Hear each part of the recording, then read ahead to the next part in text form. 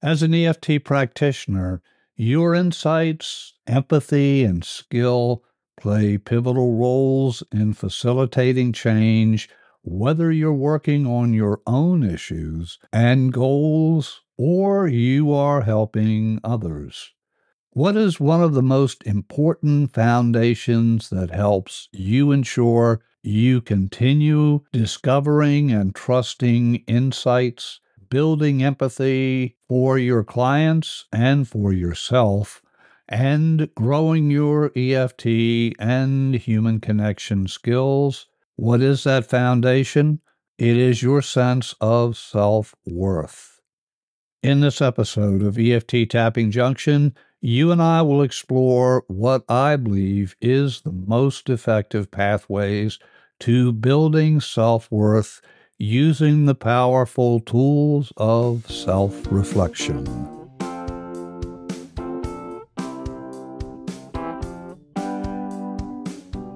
Stephen Carter here, and I am your host for EFT Tapping Junction. Over more than four decades, I've helped thousands of people release stress and achieve success in every area of life using an array of methods to include, of course, EFT or emotional freedom techniques, thought field therapy, trauma tapping technique, neurolinguistic programming or NLP, hypnosis, meditation, and an array of other holistic methods. You can learn more about my work by visiting the website for this and other podcasts focused on emotional and spiritual well being. You'll find that website at stressreliefradio.com, stressreliefradio.com. Who is this show for?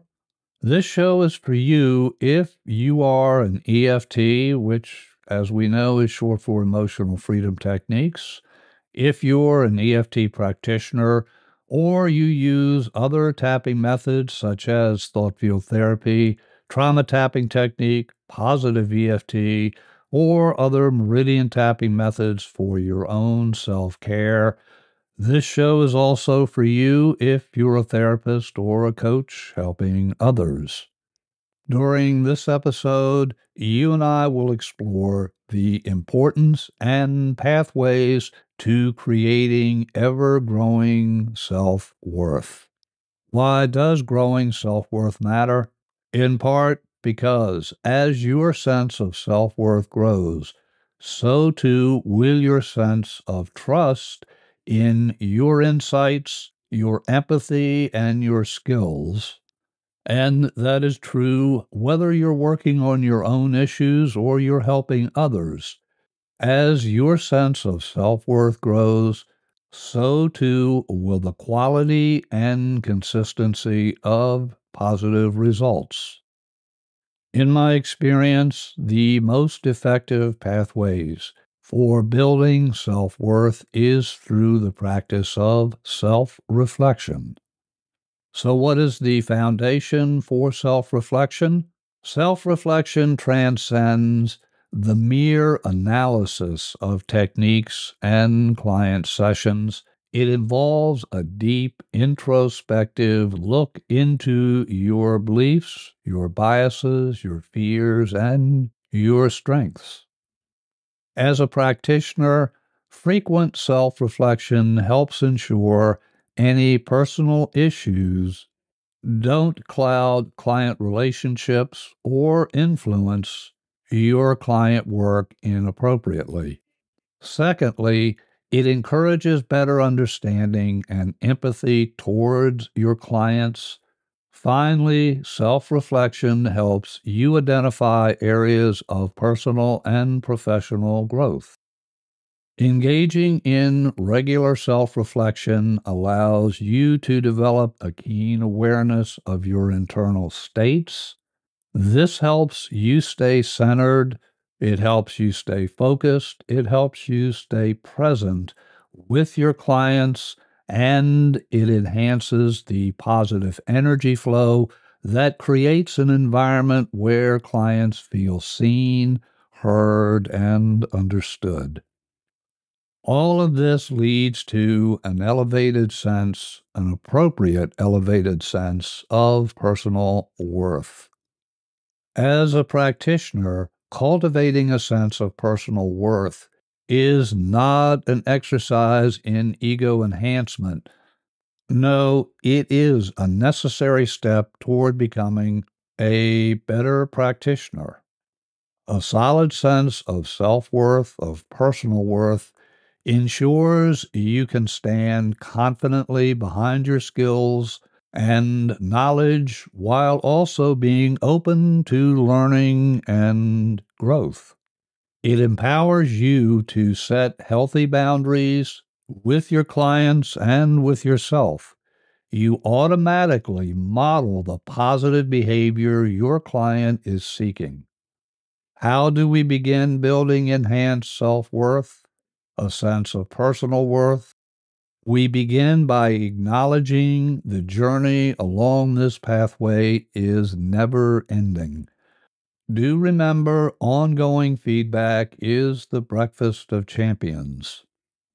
If you're working with clients, I encourage you to spend two or three minutes after each session answering the questions first, what went well? Secondly, what seemed missing? And finally, what did I learn? What went well? What seemed missing? And what did I learn? If you are doing self care work, you also can answer these three questions after each of your personal EFT sessions. What went well? What seemed missing? And what did I learn? Do not dwell on one aspect of the session.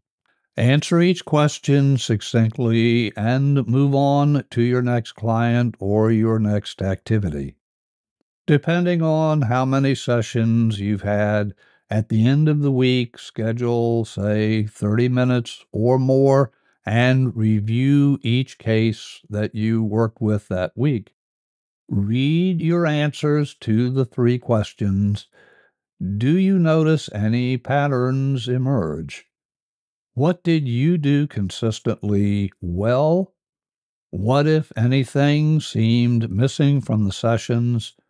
What insights arise as you assess the week's sessions? Briefly write down any insights and file that single sheet of paper away in a folder named something like Weekly Insights. At the end of the month, revisit the folder and scan through the previous few weeks of insights. What patterns, if any, do you notice? Do your notes suggest any skills or practices you would like to build on? If so, list those skills and or practices and add them to your calendar or other resource as action reminders. In addition to your monthly case session reviews, I strongly encourage you to create what I call a growth journal. I encourage you to journal answers to key questions at least once every two to three months. You can, of course, do this more frequently. As you journal, track and act on insights that arise from your journaling. Over time, you're going to find your confidence and your sense of self worth are growing. Allow yourself whatever time feels right to be present with each of your selected questions. There is no rush here, it's a process of allowing your subconscious mind to serve up answers that you will then write down in your journal. Here are 12 questions to get you going. Feel free. In fact, I encourage you strongly to change, modify, delete, and or add questions that come to mind. As you engage in the journaling process, it's likely new questions or new areas of focus will emerge. Make whatever changes you choose to make in your list of questions.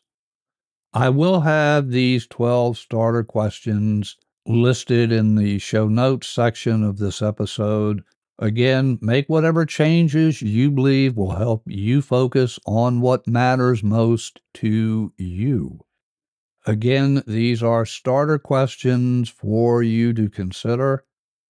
Question 1 How often do I apply EFT and or other methods for my own issues? Question 2 What issues have I let go of and what issues remain unresolved? How will I proceed with any unresolved issues?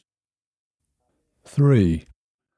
As I evaluate my EFT personal and professional sessions, what insights arise about my skills and confidence when working on my personal issues and if I see clients with client issues. Question 4. What strategies have I found most effective in building and sustaining rapport and trust with my clients? Question 5. What strategies do I use to maintain presence and attentiveness during sessions, and how effective are those strategies? Six, what feedback have I received from clients that has significantly influenced my practice, and how have I implemented that feedback? Seven, in what areas of my practice do I feel most confident and in what areas do I feel I need further growth or education? If further growth or education is needed, what is my way forward? 8. How has my approach to EFT evolved over time, and what have been the key influences on this evolution? Question 9. How do I manage the balance between empathizing with clients and maintaining necessary professional boundaries? Question 10. What are my coping strategies for dealing with the emotional impact of my work? And how effective are those strategies? Are adjustments needed? And if so, what are those adjustments? Question 11. In reflecting on successful outcomes, what common factors contributed to these successes? And question 12.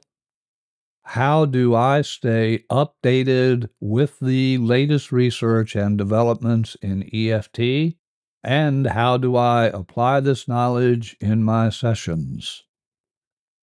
In relation to this final question, we have a Facebook group that is dedicated to tracking research, not only in EFT, but in all holistic methods and also mainstream research as that research relates to holistic practices. This is a Facebook group with more than 700 members from around the world.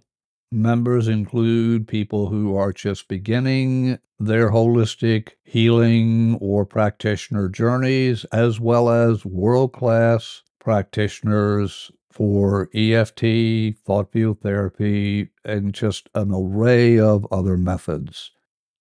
The name of that Facebook group is Energy Healing Network. If you would like to join the group, you are more than welcome to do that. I will have the link for the Facebook group Energy Healing Network. I will have that link in the show notes. You and I have covered a lot of information and recommendations in this session. In summary, these key recommendations are 1. Know the importance of acknowledging and continuously growing your sense of self worth. as a person and as a practitioner.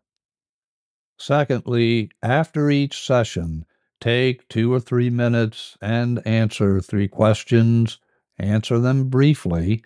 Those are what went well, what seemed missing, and what did I learn? Just jot down the answers. Next, at the end of the week, go over all of the summaries from that week's sessions and identify any patterns that emerge Briefly write down any insights or action items on a single sheet of paper and file that weekly paper in a folder called something like Weekly Insights. Next, at the end of the month, revisit the folder and scan through the previous few weeks of insights. Make note of whatever patterns, if any, that you notice do your notes suggest any skills or practices you would like to build on? If so, list those skills and or practices and add them to your calendar or other resource as action reminders. Next, in addition to your monthly case session reviews, I strongly encourage you to create what I call a growth journal.